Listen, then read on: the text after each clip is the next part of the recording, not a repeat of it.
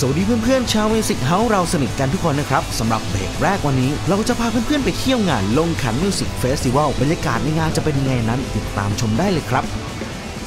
Music House เราสนิทกันสวัสดีครับ ผมนัทเทลเมเทสกลับมาที่นี่เช่นเคยครับ Very TV นะฮะ ตอนนี้เนี่ยผมอยู่ที่หน้างานที่น่าสนใจและผมเชื่อว่าไม่เคยเกิดมาก่อนในประเทศไทยนะฮะอีเวนต์นี้ชื่อว่าลงขันครับผม แล้วก็โอ้โหเป็นงานที่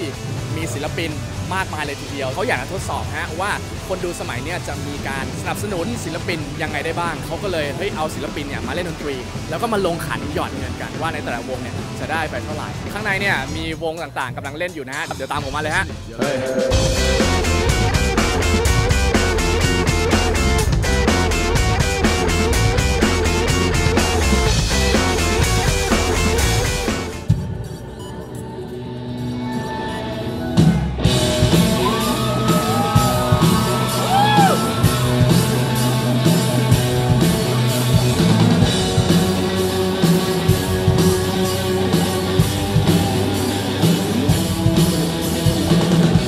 วงนะฮะที่เพิ่งเล่นสดโอ้โหลงมาร้อนๆเลยนั่นคือ De Flamingo สวัสดีครับ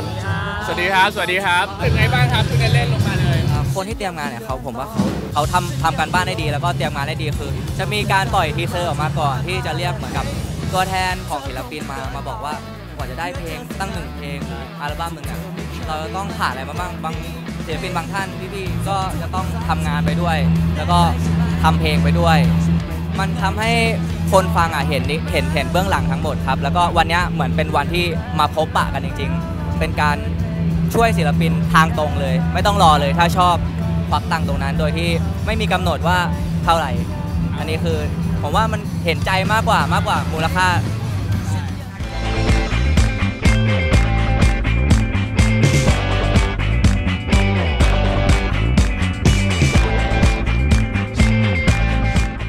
ตอนนี้ฮะแนทก็อยู่กับหนึ่งในผู้จัดงานในวันนี้นะครับ เดี๋ยวไปพูดคุยกับเขาดีกว่านะครับ สวัสดีครับ สวัสดีครับ แนะนำตัวเพื่อนๆชาว Music House หน่อยฮะ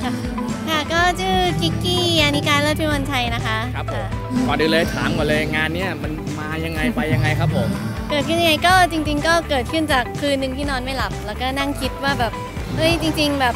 คือเราก็เป็นคนเรา ยอมรับว่าเราเป็นนักดนตรีด้วย แล้วก็แบบเราก็จะรู้ insight ของนักดนตรีหลายๆอย่าง ว่านักดนตรีต้องเจออะไรบ้าง เวลาเราไปเที่ยวต่างประเทศเราจะชอบไปดูว่าเอ้ย music scene บ้านเขาเป็นยังไงอย่างนี้ เล่นแล้วก็โปรโมทผลงานตัวเองไม่ใช่ว่าเล่นเพื่อแบบเอออยากได้ตังค์แต่ฉันไปเล่นเพราะอยากให้คนได้ยินฉันอะไรเงี้ยในทางเดียวกันเราก็พยายามที่จะขยายกลุ่มคนที่ชอบสนับสนุนศิลปินเพิ่มมากขึ้น ก็เลยเป็นงานที่ทำให้คนได้มาสนับสนุนศิลปินได้ง่ายที่สุดครับผมค่ะ เกิดจากนอนไม่หลับนั่นเอง ใช่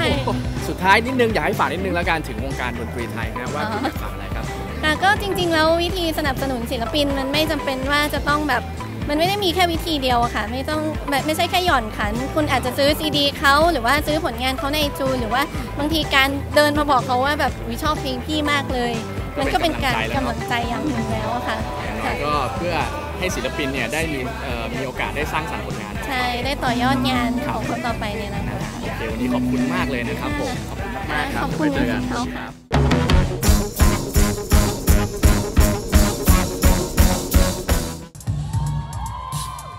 เดินทางมาถึงเบรกสุดท้ายแล้วนะครับ วันนี้เราจะเอาไลฟ์สดๆ จากงานลงขัน Music Festival มาฝากเพื่อนๆกันนะครับ